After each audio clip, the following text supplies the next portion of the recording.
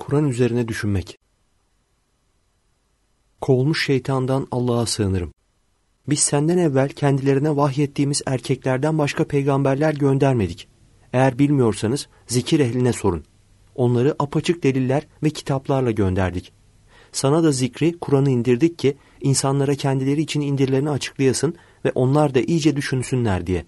Nahl suresi 43-44 Kur'an hakkında ne biliyorsunuz? Birçok insan bu soruya muhtemelen şöyle bir cevap verir. Kur'an dinimizin mukaddes kitabıdır.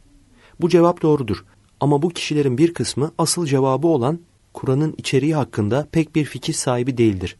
Kur'an hakkında kimi toplumlarda halk arasında yanlış uygulamalar ve inançlar da vardır. Kur'an genellikle evlerin duvarlarında süslü bir muhafaza içinde asılı durur. Belli bir yaşın üstündeki kişiler tarafından okunulacağı düşünülür. Hiç okumadıkları için Kur'an ayetlerinin içeriği hakkında da hiçbir şey bilmezler.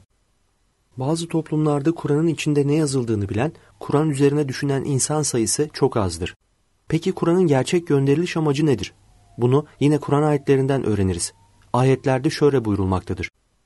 Kovulmuş şeytandan Allah'a sığınırım. İşte bu Kur'an uyarılıp korkutulsunlar, gerçekten onun yalnızca bir tek ilah olduğunu bilsinler ve temiz akıl sahipleri iyice öğüt alıp düşünsünler diye bir bildirip duyurmadır.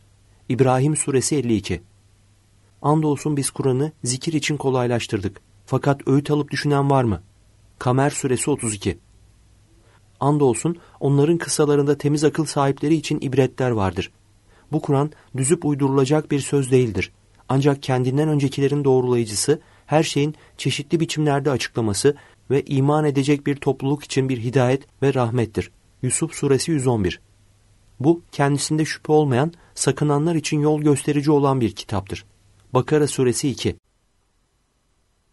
Okuduğumuz ayetlerde ve bunlara benzer pek çok ayette Kur'an'ın gönderiliş amacının insanları düşünmeye yöneltmek, onlara kendilerini yaratan Allah'ı tanıtmak, onlara kılavuz olup yol göstermek olduğu bildirilir. Kur'an akıl ve vicdanı açık olan her insana hitap eden, onları doğru yola ileten bir kitaptır.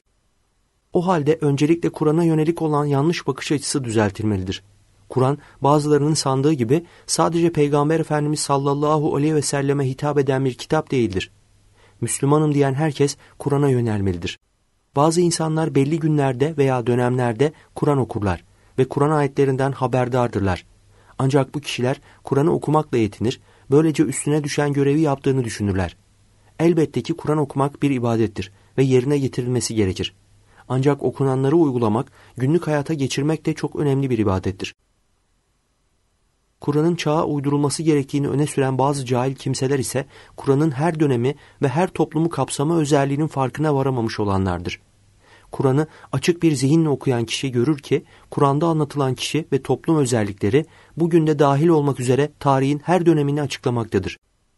Din ahlakından uzak toplumların içinde bulunduğu bütün yanlışlıklar, bozukluk ve sapkınlıklar Kur'an'da anlatılır.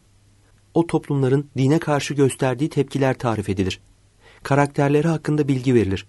Bu bilgiler günümüz dünyasına da uymakta ve bu durumda Kur'an'ın her döneme hitap eden mucizevi yönünü bir kez daha ispatlamaktadır.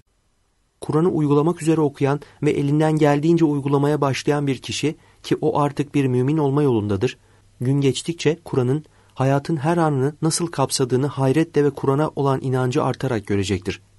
Kur'an'da inanan insanın karşılaşacağı olaylar bunlara karşı nasıl tavır göstermesi gerektiği ayrıntılarıyla tarif edilmiş durumdadır. Kur'an'ı yalnızca okumakla yetinip uygulamadan vazgeçmek ise sanılandan daha kötü bir konumu beraberinde getirir. Allah bir ayette şöyle buyurur. Kovulmuş şeytandan Allah'a sığınırım. Kendilerine Tevrat yükletilip de sonra onu içindeki derin anlamları hikmet ve hükümleriyle gerektiği gibi yüklenmemiş olanların durumu, koskoca kitap yükü taşıyan eşeğin durumu gibidir. Allah'ın ayetlerini yalanlayan kavmin durumu ne kötüdür. Allah zalim bir kavmi hidayete erdirmez. Cuma suresi 5